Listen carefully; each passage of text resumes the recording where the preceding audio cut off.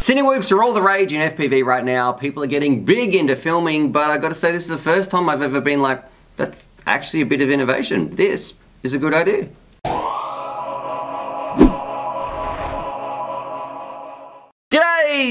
From UAV Future Zero, and today, well, what we're checking out, it is the bump. That was a pretty smooth little turn. I couldn't do that again if my life depended on it. What we're checking out is this right here, which is the new Cinebee or Bumblebee from iFlight. It looks fantastic, and this one, first and foremost, is made for you people who love filming. It is all about the film. It's not about the freestyle, the racing, nothing like that. In this video, we're gonna break it down. We're gonna give it a bit of an overview. Then we're gonna go out to the field. We'll talk, oh, so to talk about the pros and cons, all that sort of stuff, the text and the specs. Then we go out to the field, fly it around and have some thoughts. And I gotta say, this one, if you are interested remotely in filming, uh, it is a huge improvement, in my opinion, over what we've seen in some of the other ones. And the big reason, it's got these beautiful foam guards around the outside where it's not every day I'd be hitting myself with a carbon drone in the head. Well, at least not on purpose anyway. So let's do it. Let's break it down as a bit of an overview of what this is. Let's put it on the scales as well for you guys. Hopefully we can get this on here. 275 grams right there once I've teared that off. So the whole thing, 275 grams, and it is made for people who want to fly around, maybe film things like car shows, or maybe want to fly around indoors. You might be filming real estate. You put your GoPro on here, you get some hyper smooth happening, you cruise this bad boy around, and drones, they are really amazing filming platforms. They can go places where, you know, only they can go, where normal people can't. They can capture some beautiful footage, and that's what this one is all about. It's not about those mountain slides though, or you know, I should say mountain runs, or going some crazy bandos doing flippy floppies all the place. It's not about high speed. This is just about safe, predictable, smooth flying that is also not going to damage the things when you bump into things. In the past, usually, we have these big ducts you can see on the outside which protect the props and also stop them slicing, slicing things up, but also sometimes they're made out of TPU. Some in the past used to have carbon and they could be a bit flimsy as well. Uh, this one, it's got, not only does it have a printed 3D, 3D part, it's got carbon as well to make it even stiffer, and it's also, like I said, got this beautiful foam piece that goes around the entirety of the craft. That, for me, is kind of, th this is the future of all cine whoops. I guarantee when people see this, they think, you know what? That's a brilliant idea. They're going to start doing that because the frame is ridiculously stiff, far stiffer than any of the other ones out there, and also it is safe. Like you said, I was bashing it, like you saw, I was bashing it into my brain, and uh, there wasn't too many consequences. It's a bad joke. Anyway, nothing could possibly go wrong. But let's move on and talk about some of the components, but we'll take it out of the field, fly it around, all that sort of stuff. So the text and the specs, what we actually have. We have the frame, like I mentioned, it's spinning some 3-inch props right here. They're actually special little props are connected to some XING motors. They're 1407s. I believe, let me, oh, 1507s I should say. They are 3300 kV. It's designed to take a 4S battery. It's sort of, it's not very fast. It doesn't scream around very quickly. I love the frame that's all connected to it. It's just this one big carbon top plate, one big carbon bottom plate, very, very rigid, but also not terribly heavy. It is just smartly designed. So it's strong, stiff, but not too heavy. Uh, in the middle, I'm not going to open it up to show you, but you can just uh, take my word for it. You can kind of see it through here. We've just got our standard F4 flight controller. It's like the SucceX or whatever it's called. It's got a 40 amp BLHeli 32 ESC. Uh, it's got our F4 flight controller, all that sort of stuff, Betaflight OSD. We've got a nice Ratel camera at the front so you get some good FPV vision. There is also a DJI version, which I kind of would have preferred over this version because you'd get some juicy footage flying that thing around. I'll link that down below as well as this one. I've just got the analog analog one. Towards the back though, we've just got a little XM Plus, uh, normal 500 milliwatt VTX, all that sort of stuff. So it's fairly standard components.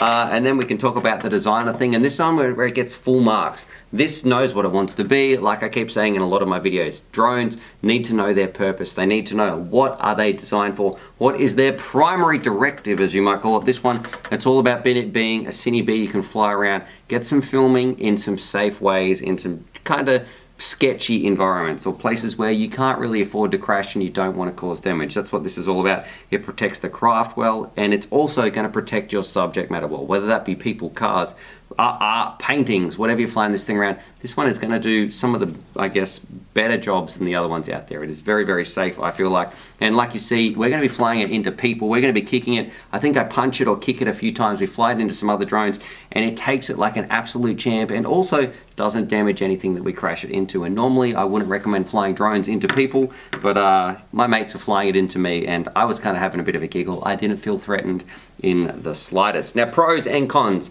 Let's talk about some of the cons. It is not a racer. It is not a freestyle. It is not fast. It gets definitely sucked up by the wind. You're not going to be doing flippy floppy crazy speed. Don't buy this drone if you just want to do the FPV experience and fly around. You're much better suited with some other things. Go check any of my other reviews. Most other drones that are not ducted, you're going to have a better flying time than flying this. This, think of it like a camera platform. Think of it almost like how you'd fly a DJI around or something. That's it's not made for the flight experience, it's made for the flight footage that you're going to capture. So that brings us on to the pros. Well, I think for it is the safest Cinewoop option that you can get. It is extremely robust in terms of the actual craft itself. It is very, very hard to break. I mean, we just started crashing this thing into another drone on purpose, which I would never do with any others, but I just felt total, I knew this thing would be fine. I don't know what it was. I was like, Tony, smash into me. He was trying to crash into me and the drone took it like an absolute champ. We were kicking it. We were throwing it. This it's just almost unbreakable. So I guess that for a lot of people is going to be a huge thumbs up. So maybe also a beginner drone if you wanted something that you know you cannot break. Well, this absolutely has got you covered. It's even got camera protection at the front. Very, very robust. I think the weight is fine. And overall, it's just, and it knows what it wants to be. So it is a great, great filming platform. So anyway, that's it on the bench. The pros, the cons, the design, which I love, the specs that you've seen. Let's go out to the field. Let's fly it around. I'm only going to show you some DVR because I don't want to talk about with the GoPro on top and all that sort of stuff because look, you don't get the GoPro mount when you order this thing because that's separate and also you don't get the GoPro. So I'm just going to show you what the flight footage is like, how this craft actually handles, and then you can use your imagination and think, gee, where would I fly? What would I film? Where would I be flying around with my GoPro? All that sort of stuff. Because look, it's not going to be for everybody. No one's taking this thing to the races. So anyway, let's go do it. Have some fun with some of the other boys. See Jono crash my plane. So thanks very much, Jono, for uh, slamming that thing into the dirt and just have some fun with the iFlight Bumblebee and then come back to the studio and wrap it up. So let's do it in three, two, one. Radio out here in the field with the boys. We're just to have some fun, fly the Bumblebee around, crash into some stuff, test out its durability, see what they think, all that fun stuff. Let's do it and show you some DVR in three, two, one. Boop radio, here we are, and this is going to be a weird amalgamation, is that the right word? The weird conglomerate anyway of a whole bunch of random flights. Look, here's Tony just punching the drone, and it really didn't seem very spooky or whatsoever. You weren't really threatened with this thing, even though it's a 3-inch, and most of the time I'm going to say, don't punch your drone, all that sort of stuff. That sounds like a very obvious, stupid warning, but that's what we were doing because this one, it was all about how confident you felt with the drone being safe. The way you not only could you crash the drone, and that's all I really tried to do in these flights, really put it through the ringer, crash it into as much stuff as possible, get a feel for the flight experience, and also how safe do we feel around it, how safe do we see about our equipment around it, all that sort of stuff. But this one, it just seemed to be unbreakable. And in a moment, you're going to see Tony and myself flying drones, trying to head them, have a head on between each other. And I got to tell you, the drone just kept bouncing off. So here we go. I'm aiming actually, they're doing a little bit of flippy floppies. It, it does have some fairly high rates, aiming for the tree. It's not just my poor flying. When I do these reviews, I want to put them to the test that you guys need to see. And this one, it's not about the crazy acro, so that part wasn't important. What was important, how much abuse could I give this? You know, how's it going to hold up when you're flying this thing around? How the foam pad's going to hold up on the outside? And also, if you had your GoPro on here, what sort of footage would you be able to capture? And I imagine a lot of people out there, like I mentioned, they're going to be flying this around, whether real estate, car shows, just maybe you want to fly around playgrounds, you're worried about hitting your kids or something like that. A drone like this is going to be very, very safe. Like that's why I keep mentioning it. Now, on to the actual flight performance, and I got to say, it was just average. Remember, it is carrying around a few ducts. The tune was great, so it wasn't getting any vibrations, but the wind was absolutely pushing it around like you wouldn't believe. So in a moment, I think we try to go full throttle into the wind, and you'll see what that looks like and we are almost tilted at like a 60, 70 degree angle. Then we turn around, same angle, and look at the speed difference. It is night and day. So it's definitely getting captured by the wind an awful lot. It's really blowing it around and pushing it around. So this one, it really is going to be suited to indoors. Don't get this one if you're just going to be flying around outdoors or anything like that. So overall, the flight characteristic, it was fine, it was smooth, but don't expect extreme performance and it does get affected by the wind. Now, one thing I want to mention is the camera. The camera is absolutely gorgeous. It's a Ratel in there, so you should expect uh, some nice quality video. And in a moment, we're going to see Chasing Jono's plane, which is a tiny little sort of white, I think it's a ZOHD Dart or something like that, flying around, maybe GT Talon. But it's very, very easy to track that plane, track that plane screaming around, even uh, on an old school analog camera like this. So let's cut to that now and uh, see what the other boys think. You can also see, look how much it's really fighting that wind to try to stay on that line. But let's hand it over to the other boys and get their impressions as well. Right here, my battery's gone flat. Jono's going to about to launch, but I want to capture it on film because I'm sure it's going to go poorly. So, uh, and we'll also test the durability of the Bumblebee. Throw it here, throw it, throw it, throw it, throw it, over here. I'm sure it's fine.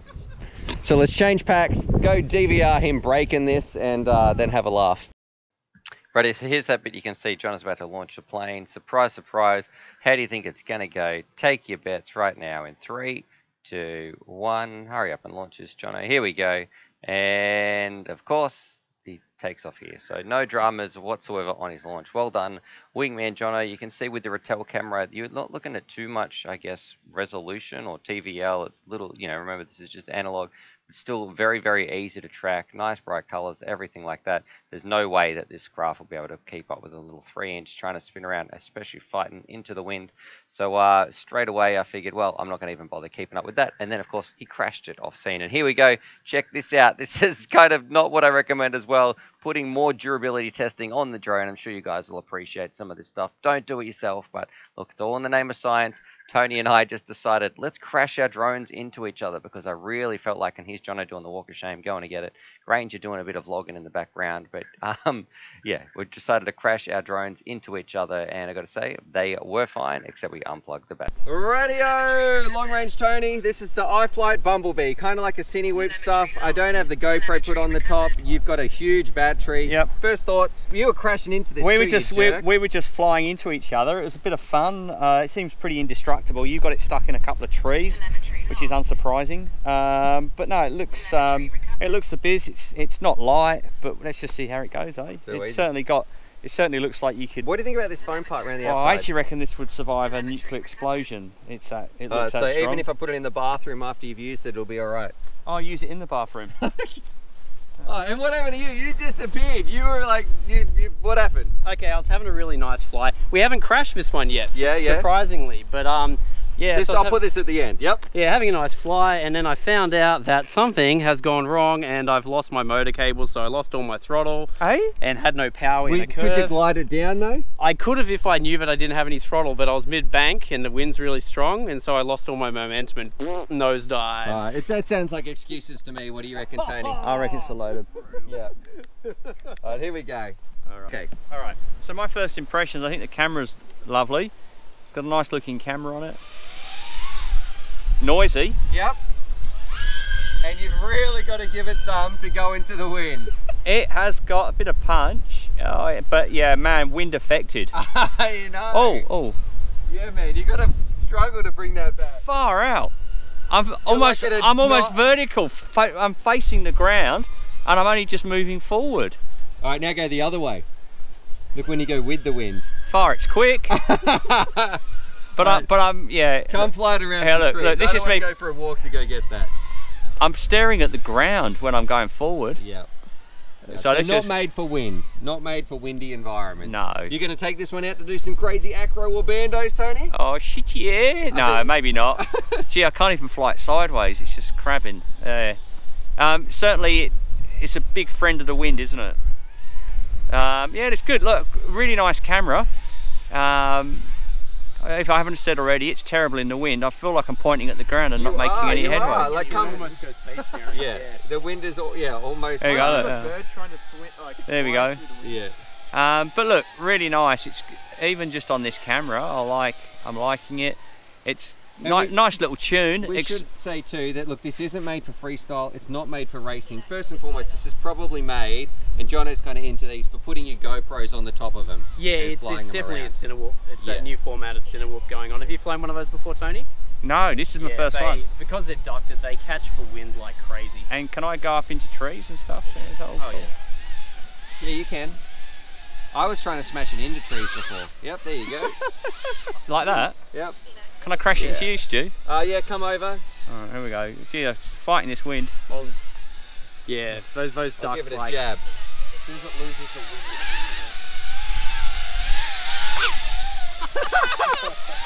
Get out of it. You're not getting the camera on that.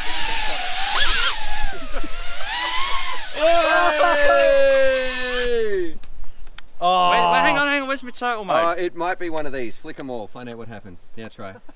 And then Yep. Whoa. Oh, and now you're flick them all back. There we go.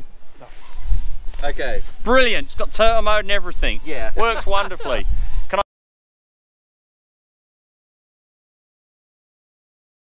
Radio, there it is. There's my review of the iFlight Cine uh, Bumblebee, I should say, and just well done. iFlight. Some I don't know who you're working with, guys, but whoever is giving you the information, or maybe you're listening to the community, listening to what reviewers are saying. You are making products that are pushing our drones. They look, they're not the most. I'm going to say what's the word here? Groundbreaking innovations, but they're innovations nonetheless. And you keep taking one step, and then another step, and another step. A little innovation here, a little innovation there. Your drones know what they want to be, and if you take enough of those little steps, look, you look back at it, man. All that combined is a huge journey, and that's what you guys are doing. You are making kick-ass drones. They know what they want to be. They suit their purpose well. So hats off to iFlight. Anybody who's thinking about picking one of these up, either only two people, only two markets I really see for this. Either you're the filming type and you know what you want out of a Cine B. You're going to be doing some work. You want to get some really cool shots, real estate cut, whatever it is. You're doing filming with this. That's going to be for you. Or the other one, which I think it does have a market, is beginners, absolute beginners who want a drone that is almost indestructible, well, uh, they're going to like this as well. It's a safe thing. You can really give it a hammering, and it's going to be you're going to be very, very hard pressed to break it. So anyway, I'd love to know uh, what you guys think. Drop your comments down below. Subscribe for more FPV related content, and as always, you beautiful people, happy flying. I don't know why I said it like that. Happy flying.